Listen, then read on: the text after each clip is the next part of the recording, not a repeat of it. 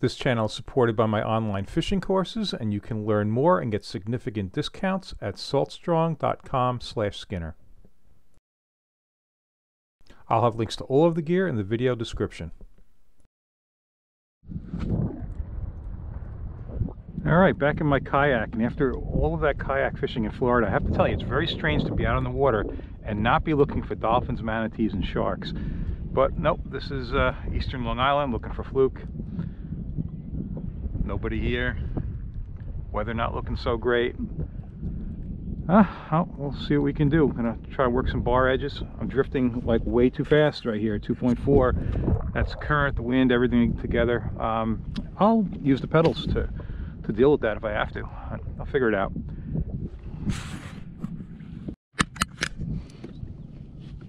So word is that the fluke that are in here are like on crabs and uh, stuff like that. So whenever that's the case, it's one of the few times where I, I really do mess around with the bucktail color. Um, try to go with this kind of brownish orange. And then really the big thing is for the teaser, just a hook and a gulp shrimp, and that's it. And when they're they're on crabs and stuff, well, that's deadly. But then I'll put a uh, a grub on the uh, the swimming lily on the bottom.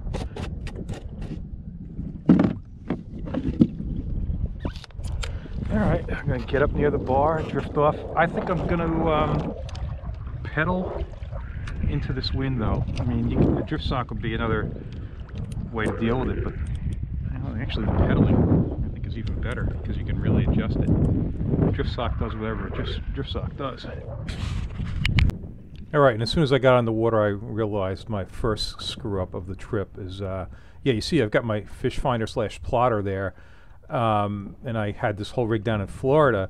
Well, I've got a Navionics chip in there that gives me um, the, the bay contour and, and all of that, except yeah, the Navionics chip that's in that unit right now is for Florida. It's uh, for a different region because that's the way it works. Is different cards for different regions. So, uh, yeah, I, I, don't have the charting capability, so it's kind of uh, a disappointment. Um, it turns out that uh, Humminbird's now got something called a Coastmaster card that has all of the regions on one card. If I am understanding it correctly, this like a lot of other information and it looks like they're about the same price as the Navionics, so maybe I'm going to go that route so I can have one card for both places. But anyway, I'll figure it out. Um, I, I, don't have sunlight to really read the bars either, so but I'll, I'll, I'll figure out where to fish.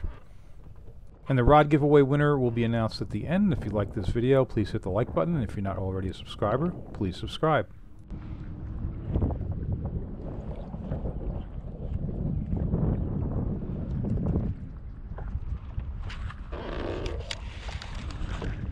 There you go.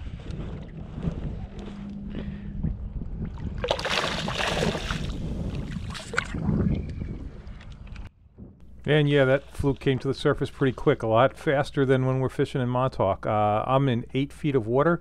That's actually relatively deep for this bay. I'm going to fish slightly deeper.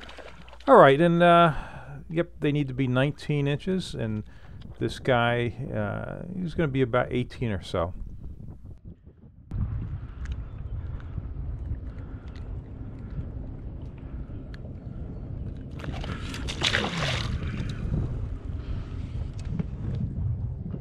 Right, you heard me mention at the start that uh, between the wind and the current, I had a drift speed over two miles an hour, and that's definitely faster than I want to be drifting. So you see what I'm doing? I'm pedaling there a little bit, and two things I'm doing there is one is keep the direction um, basically into the wind a little bit there, and uh, you know keep the pointy part into the wind so that the kayak is not catching so much wind. The other thing is um, it's kind of acting like a drift sock. I'm just knocking down the wind component of the drift, trying to keep myself more in the um, just about what the current speed is, which is a little bit over one mile an hour, and it's pretty easy to do with the pedal kayak. All right, I have markings on the rod butt so I can measure the fish against it, and uh, this guy's just short of 19 inches.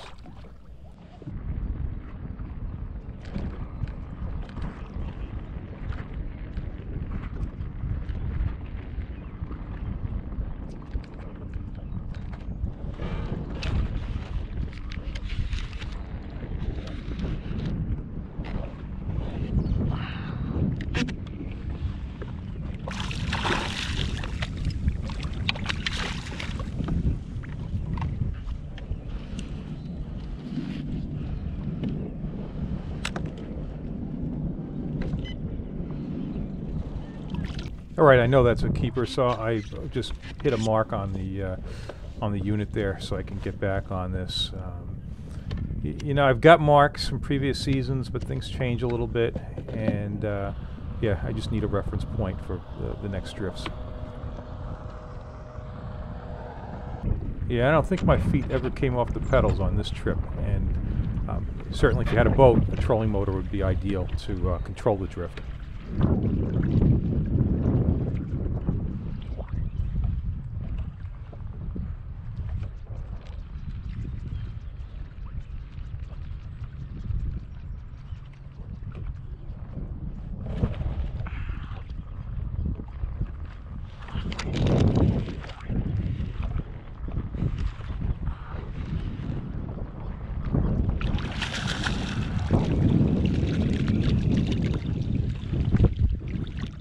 So I switched from a swimming mullet on the bucktail to a sand eel, and uh, this one grabbed the sand eel.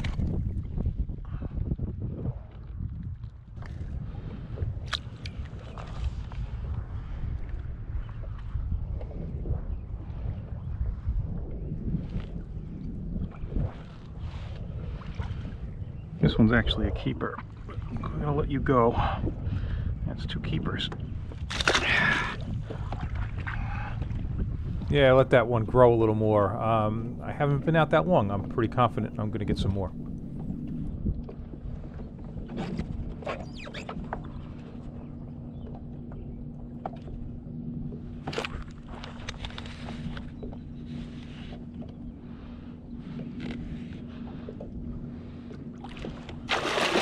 Nice one.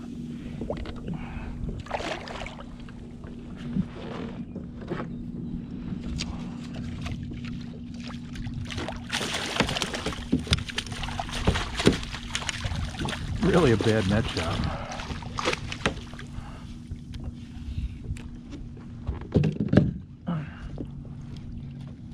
So I only had that one gulp sand eel that happened to be in the jar, and uh, that one got lost. So I've switched to a gulp nemesis on the bucktail, and uh, yeah. So look at that, another keeper on on the bucktail. You're not seeing all the fish. I'm getting a bunch of shorts also, and they fall into two categories. They're either 18 plus or they're around 12. I'm not really getting anything in that um, 15 to 17 inch range, which is kind of odd because other places where I've caught a lot of shorts, most of those fish are around 16, 17 inches, but not here.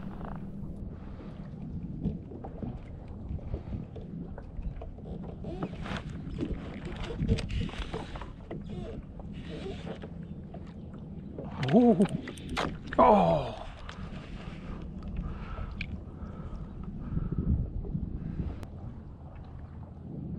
Nothing straightened, nothing broke, just came off.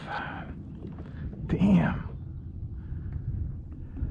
Oh, I'd like to have that one back. That one was strong. In fact, if you, you notice, I went for my drag because he really dove hard. Uh, that was a nice fish, and they've been catching some nice fish in this bay. So, yeah, sorry to lose that one.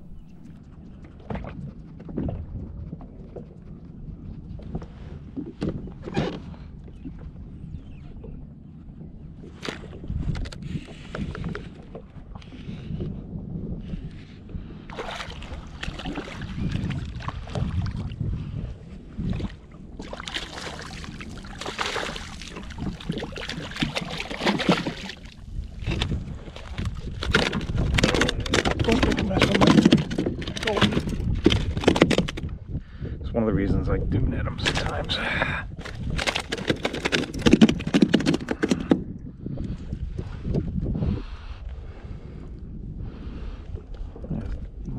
Definitely a keeper. So um, I've definitely caught more fish on the teaser, but the, the keepers, most of them uh, on the bucktail. All right, one of the big challenges of kayak fishing on a bay is that you have to deal with boat waves. In fact, I actually picked a day with so-so weather to try to keep the boat traffic down. Uh, so, some interesting things are going to happen here. First, uh, just observe this boat that's going to come by, uh, and I'll explain.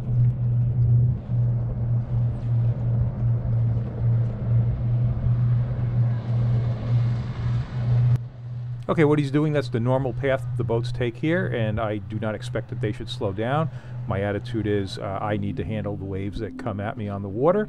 I know that when they come around, they kind of make a turn there, and a good sized boat. That was almost uh, like a 30 foot center console. Um, they're going to throw a decent wave, and I need to deal with that, and I deal with it by putting the bow into it, pushing the kayak into it.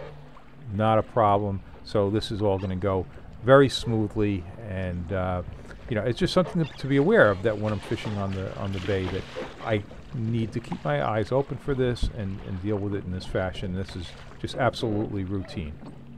But in a minute, it's not going to be so routine.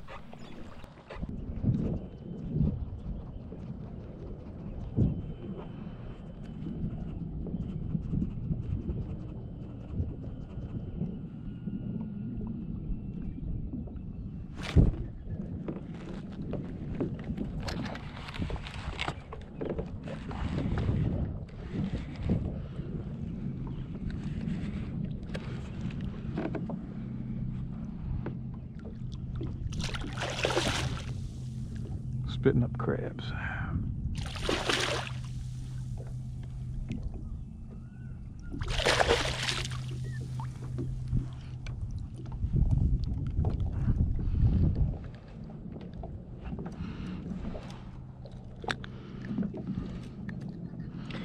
Yeah, I think he's just short. He's definitely just short. Okay, another somewhat larger boat moving a little faster has come by and uh, it takes about 90 seconds for the waves to get to me. I made a couple of mistakes here. I saw these waves, you know, because when you're in a kayak, you don't really see behind you very well. And I thought, I thought to myself, wow, those waves are kind of small, but those weren't the real ones. Here they come. And so now I'm a little bit delayed on my reaction.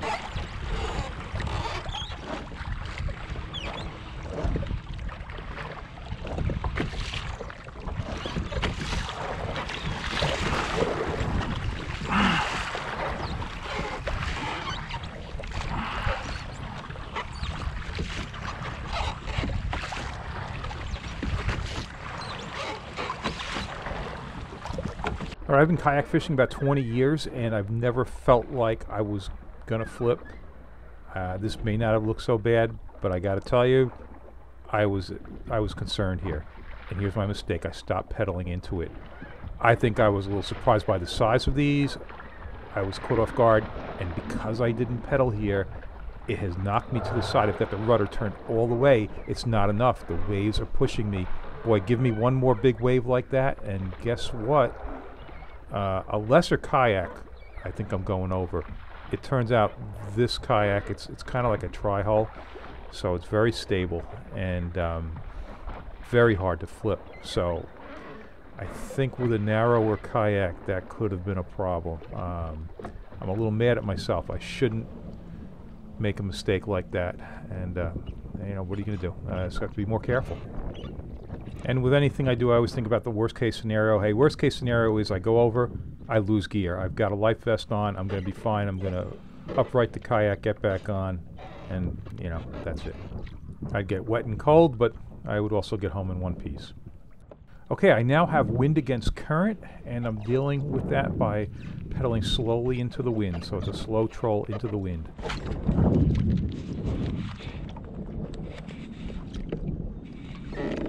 Hmm. Yeah, this is a good one.